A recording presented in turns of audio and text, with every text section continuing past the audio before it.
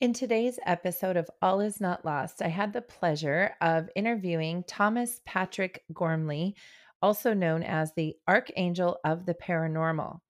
I met Tom last month at the Strange Escapes event we both attended in New Hampshire.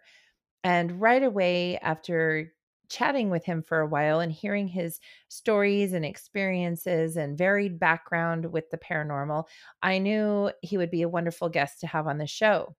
So stick around and enjoy the interview with Thomas Patrick Gormley. Spirit. Does it stay? Does it go? The fact is, spirit does survive death. Our loved ones are all around us. Love survives. Spirit survives. All is not lost. Welcome to the All Is Not Lost podcast. Here's your host, psychic and evidential medium, Rianne Maldonado. Okay, so I'm super happy to see you again. I'm so glad that you agreed to be on my show. Um, how have you been? I have been good. I've been very busy, as you might Yeah. see if you click onto the uh, social medias. But uh, after uh, I met you in New Hampshire in the White Mountains of our spooky hotel and our spooky weekend, uh, had uh, some emergency uh, calls, uh, setting up some other investigations that should be good things for my partner and I. Awesome. That's that's super good. Have you done any yet or just set them up?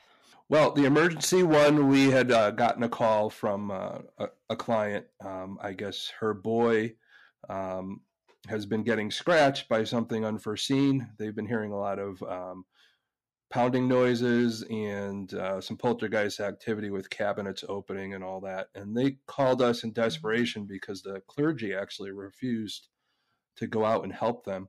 So we were like, always seemed to be the last ditch effort. So we've gone out, we interviewed them just to make sure. Uh, the great thing about that, I think that makes my partner and I a little different, is she is an actual psychotherapist. So she uh, works with people with um, PTSD, just trauma and things like that. And then with my psych background, uh, working in the prison systems and uh, psychiatric institutions. So we always like to interview everybody just to make sure everybody is on the way on the the right wave, as you know. And uh, yes. yes, yeah. And uh, go ahead. I was just say I remember we talked a lot about that in New Mm-hmm. Hampshire because that's one of my biggest concerns and some of the interviews I've gone on where people and again I said this to you in person I'm not a doctor but ob- it's pretty obvious sometimes when people need mental help not help from a medium or a paranormal investigator um I joked, but I'm not being mean uh, when I said, you know, I met a woman who thought she had Satan locked in her bathroom. um, I'm sorry, I cannot help you with that. So I do think it's super valuable that you and your partner have these additional skills to bring with you to the paranormal investigating um, and rule out when it could be something else, you know, health related. So that's awesome. You guys have that. Yeah, exactly. That's always something that we do different. We're we're not like all the other investigators out there, so we're a little different. We approach things differently. Especially, we always want to interview everybody first, get a history of what's going on in the home, and then from there determine if we need to do um, an investigation. So initially, when we met them, she had uh, put holy water on her son and in his room, and it quieted down. And uh, during the interview, she told us that. I says, "Well, I'm not going to do an investigation right now, but I uh, called a friend of mine who's a demonologist, and he says, "Well, give it about three days." And I agreed with him. I says, "Yeah, it's probably going to take about three days." Three days later, sure enough, she called back, said whatever, everything was Oh. happening again. So we went and did a full investigation. Uh, come to find out, we got just a very little history. We couldn't find much. The house is from 1965, um, and a family lived in it for quite a while. They had four kids. Uh, the the father and the mother had uh, passed away over in uh, you know mid to about 2012, 2014 in their 90s. So they had Oh. lived there for quite a long time. But what happened was is we uh, my partner being a psychic also was picking up on a lot of stuff. So was I. I have some empath abilities, and we're just picking up on a lot of things. And we had the equipment out to verify. Uh, that's what we usually use our equipment for to verify how we're feeling. So just to make sure what we're feeling is, hey, that potentially could be something.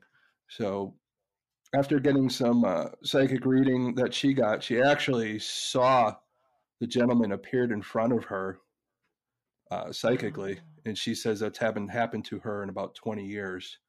And I think he was desperate to get his message out, and that's why he was scratching the boy because the boy, come to find out, we think he has psychic abilities and he hasn't developed them yet, and he doesn't know how to deal with it right now. So we kind of helped him with that, uh, just to take back who he is. And uh, from there, we found out that the gentleman was kind of sorry for how he was in life, um, that he was a violent alcoholic. Um, and how we found that out is on an SLS camera. If anybody out there knows how it works, the little green stick figures, it kept pointing down. So we are like, why does this thing keep pointing down? And we're in the uh, the boy's room, and he has one of those trash cans, and on it was a sticker. It said "Liquid Death." So we come. Oh. It was like a sign that hey, you know, I did a lot of alcohol and all that. So we just had the clues, put them all together, and from another psychic reach out, my partner picked up that he wanted us to go to his wife's grave and put daisies on it. So we're going to be doing that very soon. But yesterday, last night, after the investigation was a, like a week ago, but last night we did the home cleansing. So one of the other things that we do that a lot of people don't do is we do it four different ways all at the same time. So we do a Christian blessing, we do a shaman blessing because she's my partner is a trained shaman, and uh, we do a pagan, and uh, we do the Tibetan healing bowl. So we do all four at the same oh, time, oh, wow. just to be thorough, and you know, salt along the entrance ways and all that. So we go all out, and I usually record during the whole time on my recording device just to make sure that you know we're picking up anything. And i have a device going with you know just to see if i could pick up any um, emf also. When we were down in the basement we were trying to bless it and i was still getting some hits. So we had to do it a mm. few times down in the basement. So i was a little concerned about down there but after doing it a second time i wasn't picking up any more hits on the emf so it made us comfortable to leave for the night and uh, just see how it happens we haven't heard anything uh, since last night. Usually she'll text us. So from there, we're just going to find out exactly where we know the cemetery that uh, she's buried in. We just don't have a time that we're going to go out and where she actually is. And then we're going to get the daisies on there just because we promised uh, the spirit on the other side that we would help them out. That's really sweet. And I don't know why all of a sudden, as you were saying that, I was getting really emotional, like I wanted to cry. Um, but that's a really nice gesture that you guys are doing that and i think uh, things like that are why well why i enjoyed talking to you in new hampshire and why we were at the kind of function that we were at because it's a lot of like-minded people who treat spirits with respect mm-hmm. and go in looking for the story why are they here they're not just here to be mean and attack you um there's a reason for it so I, I really like that. That's that's a great story. I would love to um, know when you guys go do that, and I'm sure you're going to take pictures and document, right? Yeah, we we have some stuff. But a lot of the footage, I'm saying people's names, and we're a different kind of group. Uh, we have to try and keep a lot of things private. Uh, we don't mm. want people figuring out where the house is just no. by the names that we're saying because the names of the people that live there were pretty unique, and it makes it kind of easy to figure out uh, if you do some research on it. So we usually try and keep everything private just for our clients. Um, That's important. I, yeah, my partner and I, we do a lot of the, the private stuff. A lot of people don't want to do the private stuff because you're dealing with the living and the dead all at the same time. Sometimes the living's a lot harder than the dead, so, if you know what I mean. yeah, uh, I would say more than sometimes the living's yeah. more challenging than the dead. but I want to take Oh, go ahead. No, no, no. Oh, I'm just saying they're sometimes they're convinced that their home is haunted and you go through the whole thing and you're like not getting anything and you have to tell them and they're convinced and they get mad at you. So you wonder, hopefully, you don't get some kind of weird review of. I know. So, yeah. I think we did talk about that New Hampshire also mm-hmm. that you know sometimes people are convinced and this becomes their identity. They identify with, oh, I live in this situation. I have this happening. It's causing that and if you don't find anything to validate that for them uh it's awkward and they don't like it um so yeah that that is a big challenge um i wanted to just take a minute and tell the listeners who i'm talking to so I am talking to my new friend, Thomas Patrick Gormley, who is known as the Archangel of the Paranormal, correct? Yes. Yes, which is such a fun name. And okay, so I don't know if I told you when I met you, I hate social media. Like I am the worst. And I don't know how I'm ever going to grow my business because I hate social media. Mm.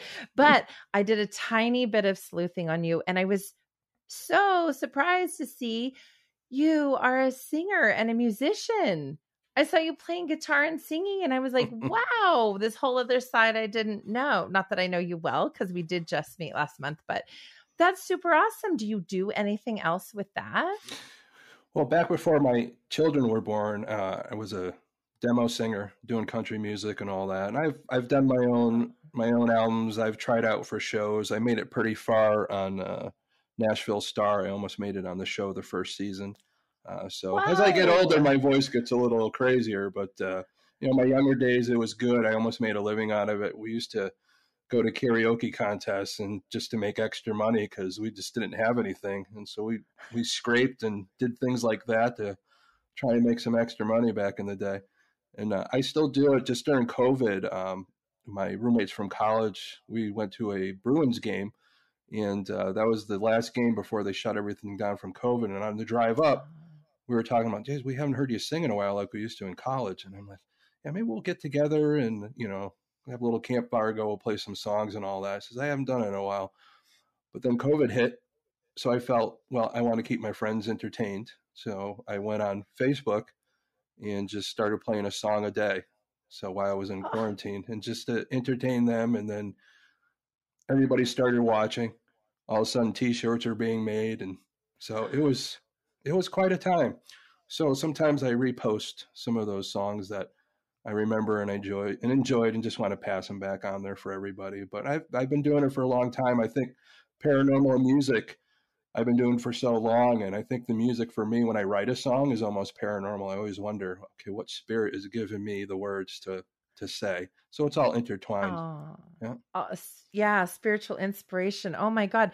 Thinking about giving and thinking outside of yourself during COVID to help people get through their day or have a better experience and to stay connected. What a beautiful thing. That was really, really a cool thing to do to share mm-hmm. your gift with other people to uplift them. And um, that's that's beautiful. So I was excited to see that because I love music.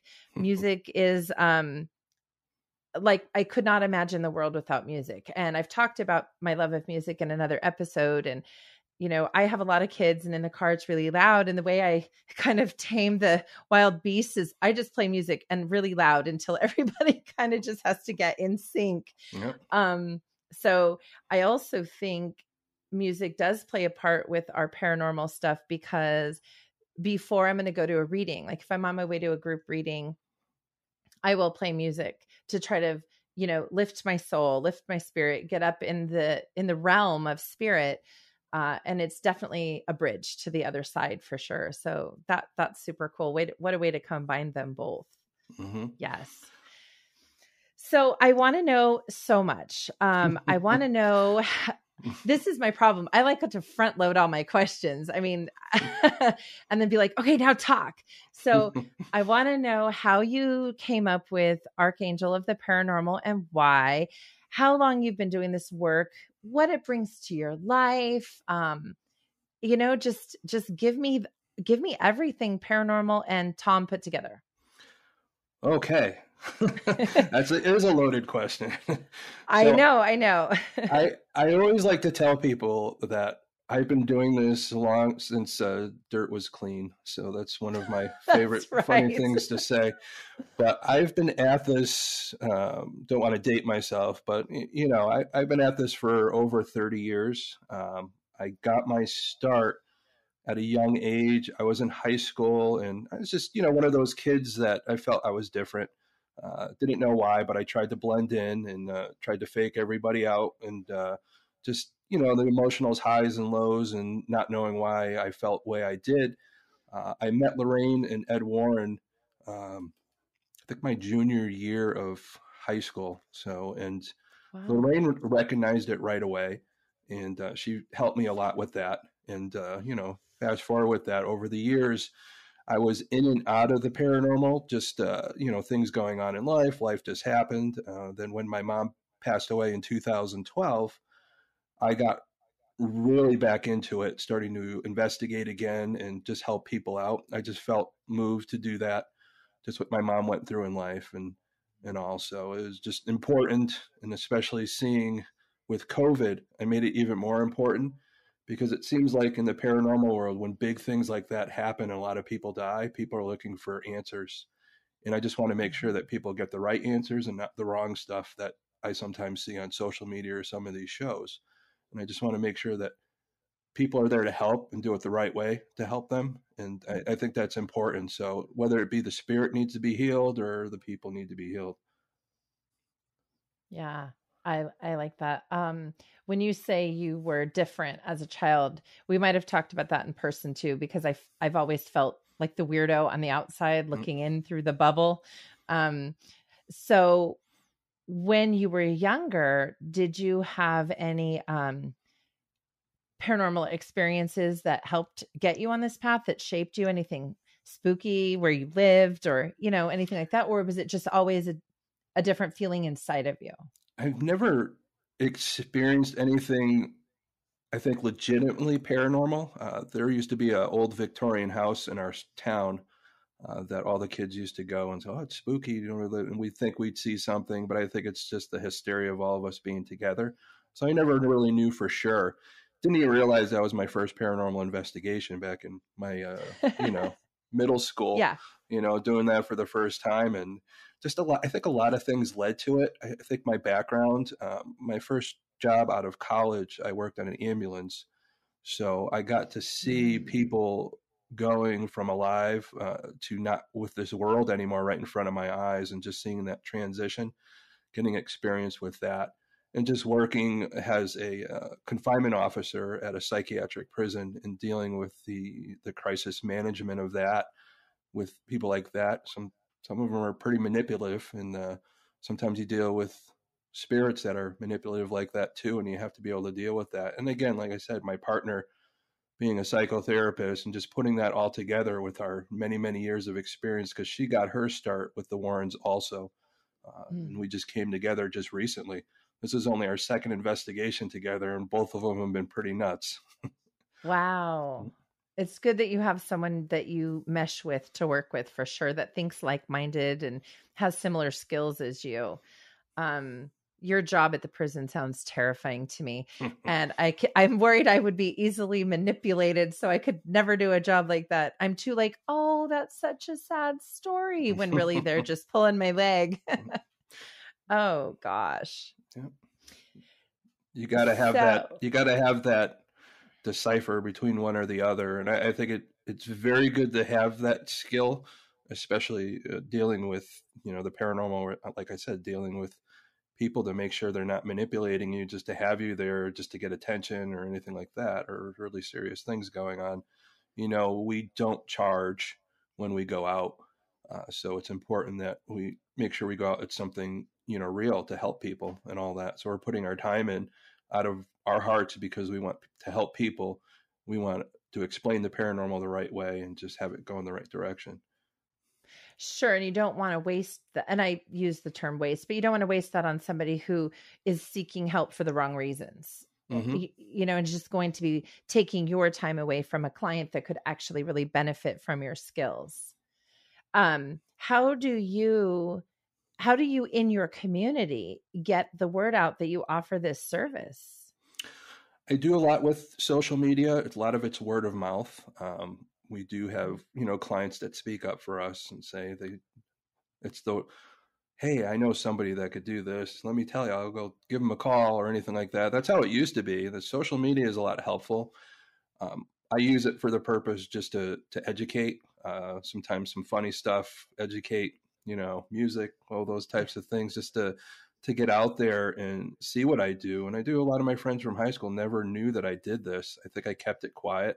Mm-hmm. I think mm. back then everybody would think you're wacko, but I think it's mm-hmm. more acceptable now. Just like a lot of things out there are more acceptable now than they were, uh, you know, back in the the 80s and all that. So that's a very good point. Mm-hmm. That's mm-hmm. a very good point. Um, well, you know, I remember we were sitting down by the fireplace, the four of us, and you totally helped me see a situation I had been through through completely different eyes. Like completely. And so in one of my previous episodes, I talk about how I kind of found out that I had mediumship abilities, other than Rianne's just a weirdo, right? Mm-hmm. and it was through that terribly haunted house I lived in in Spokane, Washington.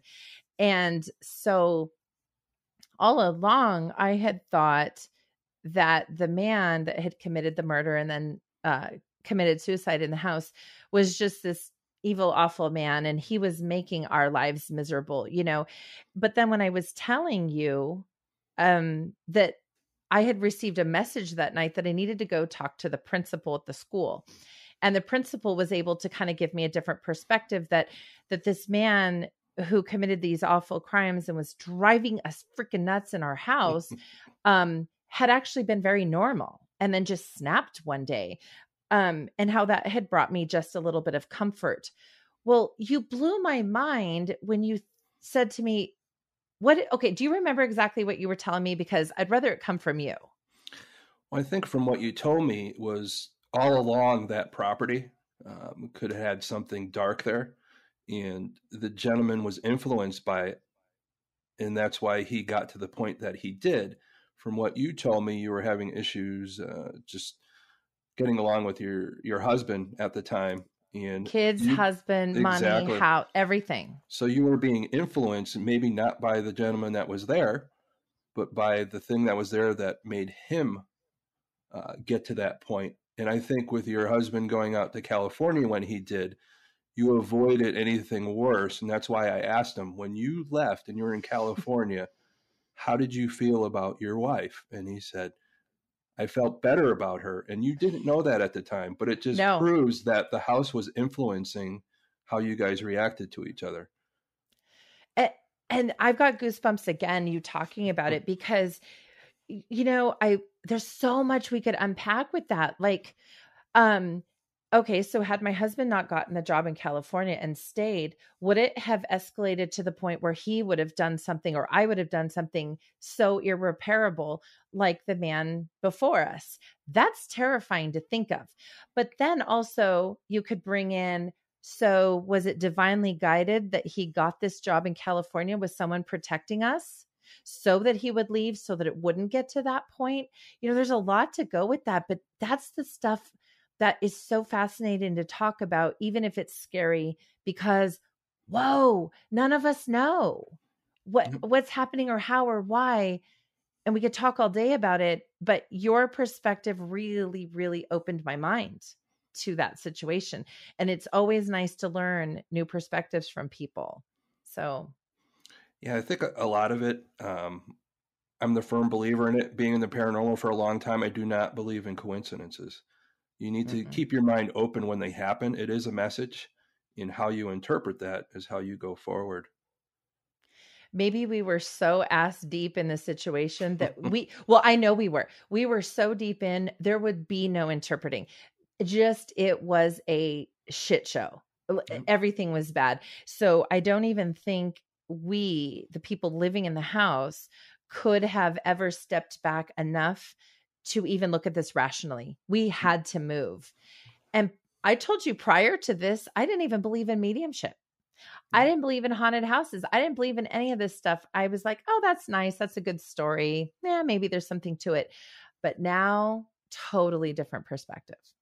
Totally different. So I just want to say thank you because that that not only taught me a lesson on how to look at things differently, but it also helped me kind of make sense of our own situation that we were in. So it's always important. And when you go through that proverbial crap show there, and I always hope for people that they take the time to realize that there's people like myself out there that could put that all together. Like I helped you, but even though it was after mm-hmm. the fact, but when you're knee deep helped. in it, yeah, when you're knee deep in it, that's when I want people to reach out.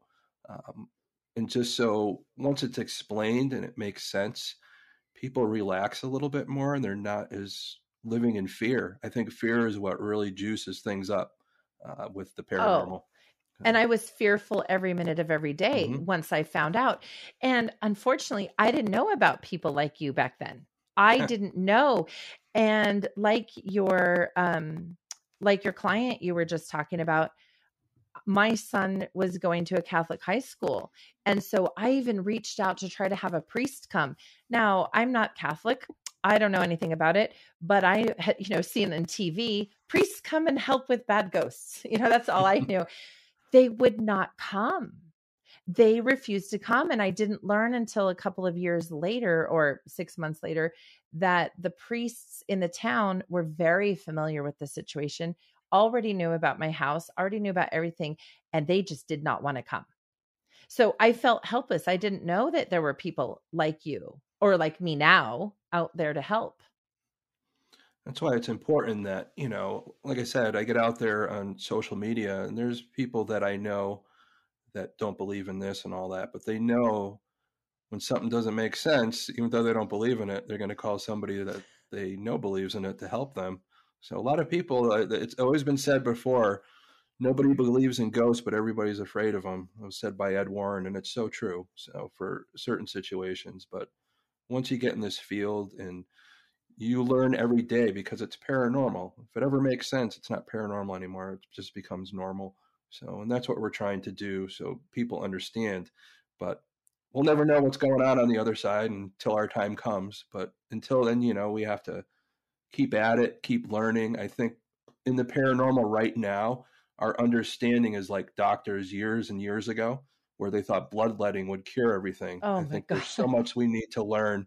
We laugh about it now, but I think the same thing with the paranormal. There's stuff that we did years ago that we're like, man, it didn't work. So we just have to keep trying to figure out what's going on. So the more experience you get, the better. But I always tell you, people that are new to it, I learn something from them also. So it doesn't matter. You know, you're never 100% right. You're never 100% wrong when it comes to the paranormal. You just have to keep going forward what works for you and the people that you're trying to help. I just, on that same note, I just did an interview this weekend uh, and she was saying the same thing. Nobody's experts. And if somebody claims to be an expert in this field, go the other direction because we're all learning and we all need to admit that we don't have all the answers. Um, I was recently at an event where there were three air quotes here um, experts doing some stuff that was just crazy town. But anyway, I I like the idea of we're always learning, we're always evolving, and our mission should be to continue to learn for ourselves and other people because we shouldn't be calling ourselves experts at this point. Um, okay, so another question I have for you is with all of your investigating, I think we might have touched on this, or maybe even John Tenney talked about this with us too. And I mm-hmm. know this is how I feel. And by the way, on a side note, I think my brain has the hugest crush on John Tenney now. that was the first time I ever heard him talk. And like, I cannot stop thinking about everything he said. But anyway, back to what I was going to ask you. So, John mentioned that the best paranormal investigative equipment is your body. And I, as a medium, feel the same way. I use my mediumship and my psychic abilities to get the main picture. Then I use equipment, like you mentioned earlier, to corroborate, to validate. Um, but if you were going to talk about your favorite piece of equipment, which I think I know from New Hampshire, but I don't know, uh, your favorite piece of equipment, if you could only have one, I want you to talk about that. If I could only have one, of course, I, I, I, I don't know. I just love the SLS camera. It's just to me, it. it blows my mind. Anytime something comes up on it, and I ask it questions, and it does what I ask it to, it, it's mind blowing. It's like, you know, psychic meaning you you could see the spirit sometimes people see ghosts and sometimes this helps yeah and i could see something that potentially could be there you know, is it is it real or not? But when something reacts to me, you know, and sometimes some of the stuff I, I know is just an artifact, but that's why I always want to try and get a back and forth. If it's residual, it's hard to prove that it's actually something. But when you know you you got a back and forth going on, it gets pretty crazy. Like I said the other night, we had it pointing at the um, the can to indicate that it had a liquid type of death. And I was like, geez, guy was an alcoholic. You know, that's kind of the clues that you lead to. Like I said, there's no such, you know, thing as a coincidence. So yeah, no. and that camera helps to validate, you know, and help us put together the clues to go forward and help people and help families and the other side and the living and the dead. Yeah. I knew you were going to say SLS, but I wanted I wanted to just hear it from you and make sure that I wasn't just guessing from our experiences. Um, now, when you mention a back and forth with the spirit on the SLS, for our listeners, we call that an intelligent response. So, exactly. Yeah. So, when Tom is telling us about an SLS, it's a camera that, um, and you could probably describe it better than I can, but it basically can see spirit in a stick figure form. And if you have an intelligent spirit and you ask them, Can you wave your right hand for me? and they do it, well, you can draw from that that you are actually having a conversation with somebody on the other side um, versus res- residual. Do you want to talk a little bit more about what the SLS SLS is and residual and intelligent? Sure. Um, the SLS camera was invented a little while ago, and it was invented by accident. Uh, there's an Xbox 360 which put out little lasers to pick up your body movement and all that so you could play video games. Well, a lot of people were playing as a player one and all of a sudden player two popped up. And there's like, there's no player two here. So a lot of people in our industry considered, well, hey, we could turn this into some kind of paranormal device if it's picking up spirit energy. So let's see, let's turn it into some kind of device, which we did. And then on it with the software, you would just point it out. It could see in the dark. So it, if it picks up energy, it'll you know transform into what looks like a stick figure.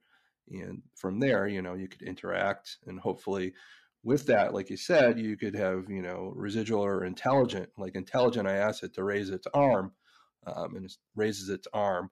And probably a residual one, which was very odd that we caught in the SLS camera, was a previous investigation that we had where the house we went to, the history behind it was back in the uh, 1920s. A husband and wife lived there with their six children, and he found out she was cheating on him and bludgeoned her to death in front of his mm children. mm So we were investigating the home, and on the SLS camera, we had gotten footage that looked like one stick figure was trying to bludgeon the other stick figure like wow. it was repeating what happened back then and that was the energy we were feeling i had goosebumps like you couldn't believe mm. and i talked to it to find out what was going on but that residual effect but then it was also intelligent almost at the same time because it showed me something that happened in the past like a movie but then when i interacted with it we started getting loud bangs on the wall that i was angry that i was trying to tell it mm. to stop that you know there's no longer violence now that happened in the past. We needed to move on, whatever we could do to get it to stop. And then from there, it the the knocking went on, and one that looked like it was hitting the other one kind of went away. I still hear the knocking, and then finally the knocking stopped, and the other one looked like it was sitting there like it was injured. And I said to it, I reached my hand out. I said, "If you want to move on, I'm going to reach out my hand, and you just touch it." And the stick figure reached out, touched it, and disappeared. Oh my God. So it was amazing. I'm covered so. in goosebumps now. Wow. I get wow. emotional like John does when he talks about the floorboard. Yes, yes. yes. You know, it was a, one of probably one of the most amazing experiences I've had in over 30 years that I potentially something could have moved on because I know you can't make things move on. It's they got to do it on their own. And I, I just felt you know the energy of it and all that that i felt like that would no longer occur anymore in that home. That's beautiful. Wow. I i don't even know really but eh, don't even know what to say like yeah what a mixture of intelligent and residual definitely and I, like you, don't believe that we have the power to send someone to the other side. I think that's between them and God. But Mhm. whatever you did, whatever was holding that injured spirit back, um, it maybe you you know gave her permission to move on. Maybe she didn't know she could. I don't know. We'll never know. But whatever happened there sounds absolutely beautiful and what a great service to provide to people for sure. Oh my God. Okay. so you, I've seen on your social media, and you've mentioned this before, and I think you have a little picture of it. Talk to me about the rabbit hole. Well, it's it, the rabbit hole is just a it's just a term that we've used for years. It's just I've had a crazy, crazy, crazy. As telling you these stories, a crazy life with the paranormal. It, it's not just investigating; it's just a lot of weird coincidences that I have in my life. Uh, whether you know meeting people like John Tenney and us just sitting drinking by the fire and seeing who could out weird each other, but it's always fun. But uh, I I tell you, it's just anything I do, it's I shake my head about the paranormal sometimes and how crazy it is, and I just feel like this down the rabbit hole again. That's exactly how I look at it. It's just one of those. Yeah, I can't explain it, so just a crazy thing down the rabbit hole. And and and the funny thing is, is you know, I'm I I like to drink bourbon. That's one of my one of my things. So I'm not crazy with it. I'm not, you know, but I I just love bourbon. And there's a rabbit hole bourbon in Kentucky, and I've been trying. Uh, some friends have been trying to get a hold of them to try and sponsor my content. So I've been trying. So maybe this podcast they'll hear it, and uh, maybe we'll get another yeah. way of uh, getting to them and all that. But I think it would be great. Uh, you know, spirits and spirits. You know, so totally what it is. yes. Well, and you know, my when I've said, you know, oh my God, here we go down the rabbit hole.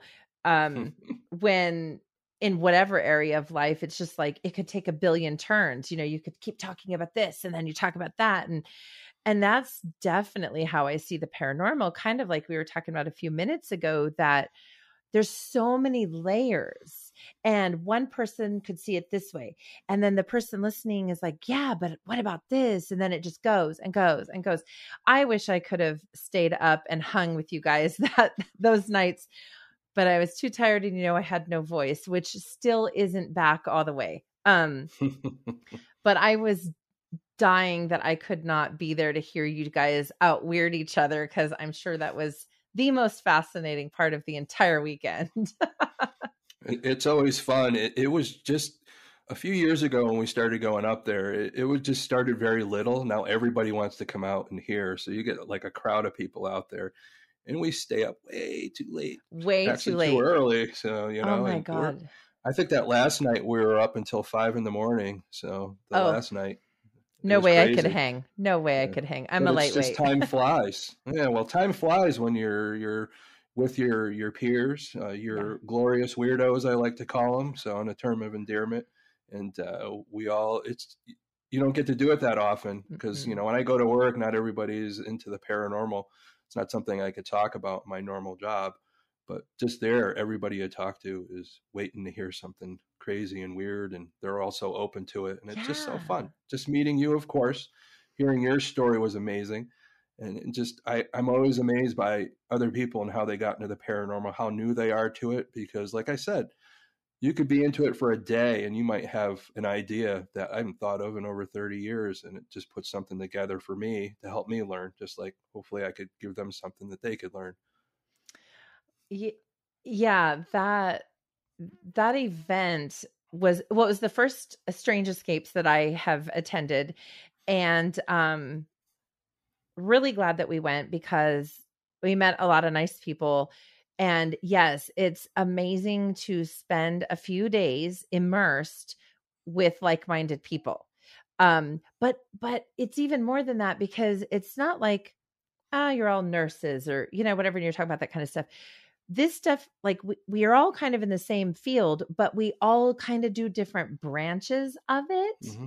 So mm-hmm. there's still so much to be learned and shared. It's not just regurgitating the kind of the same stuff to each other. So it was a really good experience for for me.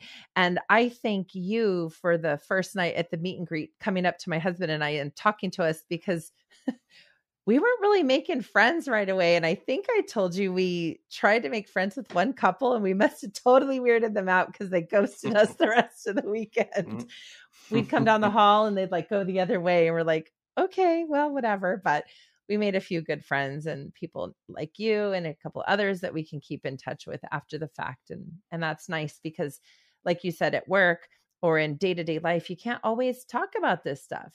You know, yep people are either weirded out or they don't care or they don't believe and so you kind of feel isolated in your own little world yeah, yeah. that's why i always like to make myself available you know living here in connecticut um, i always say this it, it's a joke i always it's the most haunted state in, in in the country and everybody like laughs at me but you think about it the warrens were connecticut residents uh, some of our mm. you know biggest you know, going into the paranormal here in Connecticut, the haunting in Connecticut, uh, all the Conjuring movies and all that, how it stemmed from the Warrens, and uh, you know their their nephew John Zaffis, and and you know there's so many people here. There's so many newer people. Like you you met Becky up there. Mm-hmm. She was one of the speakers, and she's she's kind of new to it, but all that. But she puts out in social media, and she has such a great message, just of you know the transition of uh, passing away and what goes through you know those transitions and all that. So she she's an amazing person too. I know she used to use, live in pennsylvania but she's here in connecticut now and it's just there's so many people here in connecticut inventors. The mel meter was invented here in connecticut. Wow. um, so a lot of our equipment that we get was invented here. So i always like make the joke yeah, connecticut's most haunted state in, in the but you know you don't know. It's up, up for debate but uh, I always make the joke, and everybody laughs at me. But it's one of my things. Well, it's fun to have that, and I do remember you saying that, but I didn't know why. Like I didn't know all that stuff. You just educated me. And remember, I live in the 48th state. so things happen late here. Uh, you know, going with that joke where I don't know mm-hmm. if but we've got some pretty haunted places here. Like I said, I was just out in Bisbee, Arizona this weekend and that's a pretty spooky Wild West mm-hmm. place mm-hmm. to be. Holy moly. You know, I was thinking that when we were at Mount Washington in New Hampshire, I wasn't creeped out at all. I felt perfectly fine in my room. I even took a shower in our bathroom. Um like totally normal. But let me tell you at the Copper Queen in Bisbee, oh my god, did you see the picture of the bathroom? Holy yeah. crap. so I took my daughter with me on that trip and we slept with the bathroom light on. And neither one of us could shut the bathroom door when we were in there. And no chance was I going to take a shower. I don't know what it was, but that room was so freaking scary. Very different than Mount Washington, but I couldn't put my finger on what was so what was freaking me out. But I'll tell you, I laid there all night going, Do not touch me. Do not touch me. Do not touch me. I want to sleep. Don't touch me. the mm. whole day.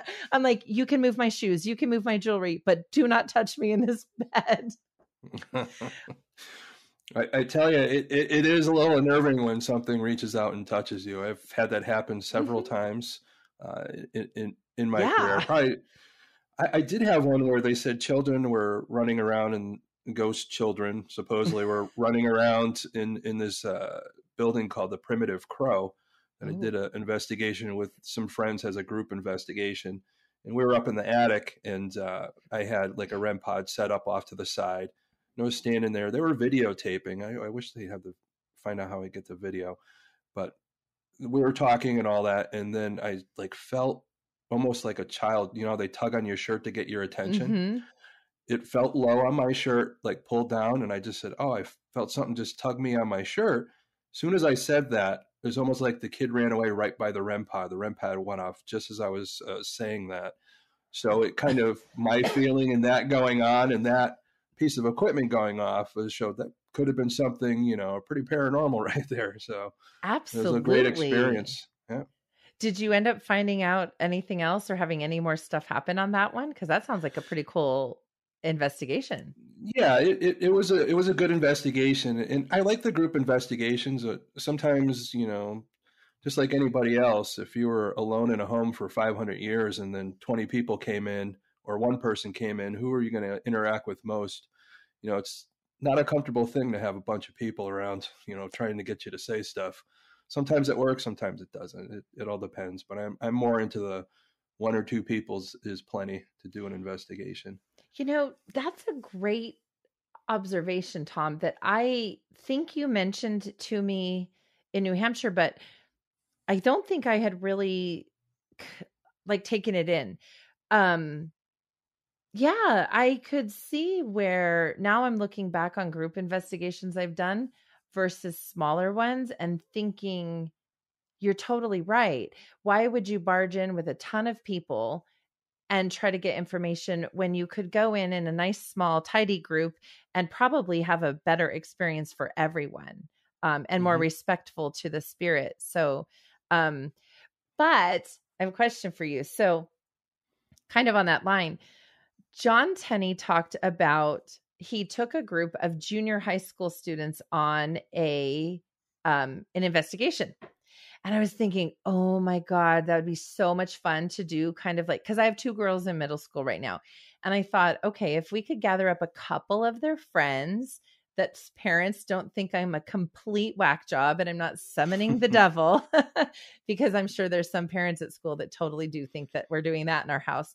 Um, I thought it'd be so fun if we could find a relatively, quote, safe, mild place to investigate, but take these young people and have an experience like that. Um, if you were to do a group like that, what would you cap your number at? What do you think would still be respectful to spirit, but fun for a group of kids? I've I've done group investigations before for fundraisers and all that, and usually I cap it at twenty. Especially depends how big the place is. Um, you know, we did in a large building where we could split everybody up, but like we did at Mount Washington, you never really had a group more than ten. So it's always good to have a, a smaller group per se with that. Um, if you are doing an investigation, if there's multiple people with you with the knowledge like you have, it's good to split them up into groups and do different areas and all that. You never want to have too many in one area. Like I said, you know, I don't want to put it this way, but if you met somebody at the bar and all that and you're talking to them, you're probably going to have a better conversation than if 20 people were standing there trying to talk to the same person. Absolutely. So it just it just doesn't work. You're just not going to be in tune to get the right information. Stuff still could, could still happen, but I, I just don't think you're going to get what you need to make the investigation go forward. Yeah, that makes sense. So I would think maybe like two groups of three or four kiddos at the most would mm-hmm. probably be good for each person to kind of have an experience, hopefully. But I thought dang, I wish I had a mom as cool as me when I was a kid that would be like, hey, for your birthday, we're going to do a paranormal investigation. like, that'd be super fun, right? Yeah, it, it's funny. My my kids grew up with me doing this, so I don't think any of them in the middle of the night ever came to my bed say, "Dad, I'm scared. I want to climb in bed with you." So I, I think they've, from a young age, realized that mm, you know it could be just this i'm just going to go back to sleep. So it was their normal yeah. Yeah it's just empower them that you know the unknown isn't always something you need to fear you just need to question it and uh, try things out and see what's going on. It could just have been the tree outside uh, hitting the glass so try things out and go back to sleep and they're fine totally. We mm. we're raising the kids that same way too so our six year old i do think i might have told this story uh, came running in our room one morning at like five in the morning. She's like, There's a man in my room playing with my toys. and so you met my husband, investigator, ex policeman. He's like, What? There's a man in your room? I'm like, Oh, honey, it's probably just a spirit. It's fine. so yeah. ended up that, of course, it was just a spirit. Um, but mm-hmm. she saw a full body apparition walk from her laundry hamper over to her toy box and pick up her toy and was playing with it. And later I used, you know, through a reading of a client, found out that it was his family member. So um wow. I think he was just there trying to give me a heads up. But um, that one was interesting because the spirit that was in her room playing with her toys, I kept getting the vibe that he was in his 40s, but I kept hearing childlike, childlike. Mm-hmm. It was so weird. And then later, when I was reading for the client, he told me that he had had an uncle who had the mentality of an eight year old but didn't pass away until he was in his 40s. I'm like, bingo, that makes sense. But there it was right there with my six year old. And she, so now they talk about, remember when I had a spirit in my room and he was playing with my toys? So I don't know. Am I damaging my kids? They're going to grow up weird. But... No, I, I don't think so. Because you just gave me an idea. There was a TV show uh, quite a few years ago. My friend Chip Coffey uh, was one of the hosts on it, where they helped young children with their learning about their abilities. Oh, so, I think I remember that. Yeah, and I'm thinking with you and talking about bringing kids out into an investigation, maybe some kids that uh, you know might find out they have some abilities and all that and you could help you know them develop that by going to certain places and see what they pick up to help them not be afraid that you know hey i could see the other side i'm afraid you know right. it helps you know them develop that where they're not fearing it so and just use it as a gift absolutely and by having them um, process what they're seeing or feeling or hearing, whatever way they're getting the information, and then talking about it with them and then showing boundaries. How do you have boundaries? I like to joke when I'm talking to new people who are like, oh my gosh, I'm inundated all the time with information. I don't know what to do. I jokingly say, look, you set boundaries. You can be like, I only want to hear from you on Tuesdays at 2 p.m. That's it. If it's not Tuesday on 2 at 2 p.m., no spirits can talk to me. And again, that's extreme and a joke, but mm-hmm. I try to make the point you are in charge, not spirit, when it comes to when and how you want to connect. And that's, I think, really valuable for kids who, like you're saying, may be having these experiences because they're psychic or mediumistic, but they just don't know. Exactly. What that's exactly what I've been dealing with with this the current clients that we have and all that. So still trying to help him develop. He just, you know, he, he's open to it, but he's just still has that fear stage of it. You know, Aww. is anything going to hurt me? And you know, just trying to help him the other day create boundaries with my partner. She's fantastic with that type of thing. You know, that's what she does for a living. She sounds you know? wonderful. And yeah, she's she's fantastic. And her name's Jenna Beth. So oh. she goes by oh. JB. So she's fantastic. You know, it's hard because I've done this by myself for so many years, and I'm very protective of my clients uh, to you know, I want to make sure if somebody's going to be working with me, they have to, you know, kind of share the same values and all that. And we do, you know, we both are parents and all that. We both have that, that similar background and we want to help people no matter, you know, what it takes and, and until we could get, take that fear away from them and educate them where they can empower themselves and take back their house if they have to. That's important. It's important to have somebody you trust working with you. How exactly. how old is the little boy that you're helping if you don't mind me asking? Well, I call him a little boy, but he's he's 18. So Oh, well that's still young, but I was yeah. asking because um you know, I think I mentioned that I've trained in England. I've trained in the US with my mediumship, but I've also gone to England a few times. And I'm not just saying it legitimately. They have laws there. You cannot talk to children about mediumship development before they're the age of 16. Like hmm. legally, mm. you can get in trouble. Um, so I had to walk a really fine line when talking to some of my mentors and peers over there, like about my children's experiences. Um, and I have to be careful to say, oh. I'm not helping them develop but you know yeah. my fingers are crossed behind my back because here we don't have the same uh, laws thankfully and i think if you do it in a in the right way with the right intentions you're not going to cause harm um, but for a man a boy of 18 that's still very young and very mm-hmm. impressionable mm-hmm. and it could be scary and it could change the trajectory of his life if he doesn't know what's going on a lot of people who become mediums or psychics or how do I phrase this? Um, some people end up in drugs or alcoholism because they don't understand that they're getting messages from spirit and they don't know what to do with it. So exactly. I think it's important to educate young people. Definitely. Oh my gosh. I've had so much fun talking to you, Tom. It was wonderful to see you again. Um, mm-hmm. I'm gonna look. I know I had a list of questions, but we were just kind of talking and um let me see here. Oh, okay. Here's a good one. Um, if you were to give advice to a beginner, someone just starting out on the paranormal investigation path, something you wish you knew back then that you didn't, what piece of advice would you like to share with the newbies? I think with the paranormal and having an experience or anything like that, or going in uh, with the right way of doing things, comes down to one word intent. Everything in the paranormal is based off of intent. You could have the bad intent, you could have positive intent, but it's always want to have that positive intent and what you put into it. So if you think something's not going to happen, it probably isn't going to happen. But if you have the intent, like we do when we go into investigation, that we want to speak to the spirits, our good intent to help them, you know, do our, our best foot forward. But anybody into it new, you don't need a lot of equipment. John Tenney's right. I I have some cool stuff, but I don't have a lot of equipment. You know, I mm-hmm. when we're videotaping, I don't even put like cameras up really that much. I we use our phones and videotape our equipment while we're doing it if something comes up.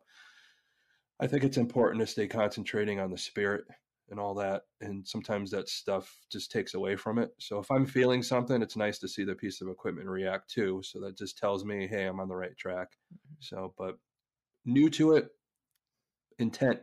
Oh, make sure I, you have the right intent. I love it. I love it. I love it.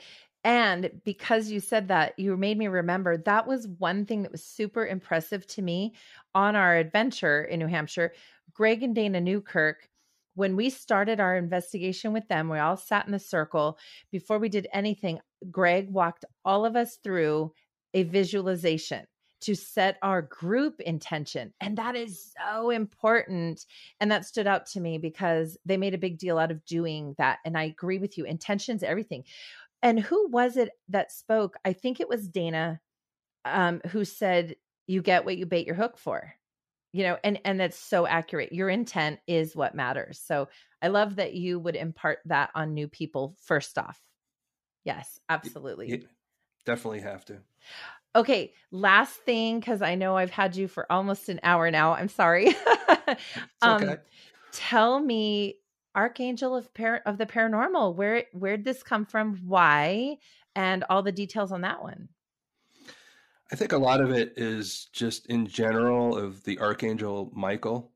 Uh, in general, is a prayer I have on the back of my business card. Mm-hmm. I just think my whole life, I really look at it this way: if I'm helping people, whether you know some things could get really nasty and evil, and I know that God sent the Archangel Michael to defeat the devil. So, and that's kind of what I try and do for people. You know, as the living person to try and uh, defeat the fear uh, with you know a lot of people may not believe in god or anything like that i don't believe in really organized religion but i mm-hmm. do believe there's a higher being and i try and work through that higher being to help people here on you know in our plane here and i think the archangel michael is probably the best symbol of that and how it defeats you know our biggest fears and the worst things that could happen to us that's beautiful. I love it. Do you do you think that you consciously chose that to be your title or do you think that that was divinely orchestrated? You got a little nudge or a message to use that. How did that come about? Well, again, I don't believe in coincidences, mm-hmm. but I, I, I think it just one of those things that came to my mind and I got goosebumps. So, yeah. and uh, I think that's what I got to go with. I think, uh, especially now, I think lately with with my partner Jenabeth and just some of these things that we've been getting that have been to the point where I think these last two cases we could write full books on of just everything that happened. I could talk for like hours and hours about information we got, um, just anything like that. And I, I come to the point where I start naming them, you know. So the the the initial one that I was talking about with the the murder, you know, is I, the murder knocks three times because it was always knocking three times on the wall, and then you know this new one's the Enfield entity. So and there's just I, I like to name them because I said if I ever write a book about it, I better I better have a title for it. But yeah, I don't know, maybe a book about the case files would be great, but you know, I'm a songwriter. I've never written a book, and uh, hopefully, uh, I'll get the inspiration to do it. I have the ideas, so if anybody's out there wants to help me out as a ghostwriter, so you could help. Seriously, I want a ghostwriter too. Yeah. Well, um, Oh my gosh.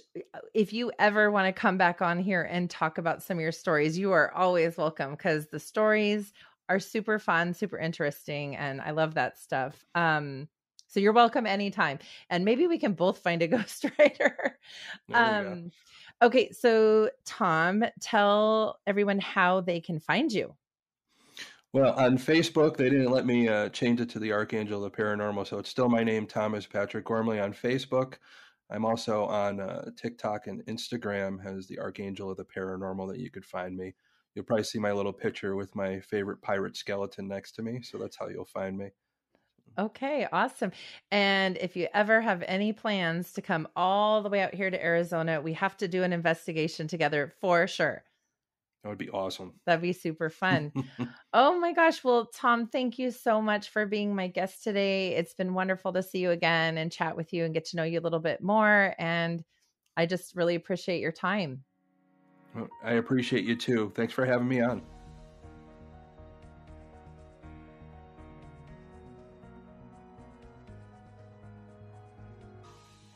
Thank you so much for joining me again on All Is Not Lost. I just love having you here. I love talking about these things that are valuable and important and bring comfort and healing to our lives or some excitement. Who doesn't love a good ghost story? So I love having you here listening and sharing these experiences with me. If you'd like to be a guest on this show or you have a topic idea for the show, you can find us at allisnotlostpodcast.com and click on the tab Be a Guest. If you're interested in a mediumship reading with me, or you're just curious about what a reading looks like, you can also visit me at riannemaldonado.com. I will put the link of that in the show notes. I I know my name is hard to spell. Also, if you've enjoyed today's episode or any of our episodes, please be sure to rate and review wherever you listen to your podcasts. This helps me continue to bring you exciting and impactful guests and also provide you with useful content. And as always, thank you so much for listening to All Is Not Lost. And I look forward to seeing you next time.